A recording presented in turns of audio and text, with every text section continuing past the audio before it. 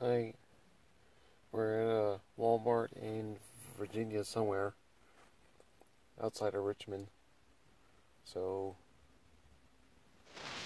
see how many hours of sleep we get, if any.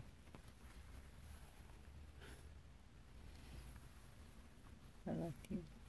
I love you too. Good night.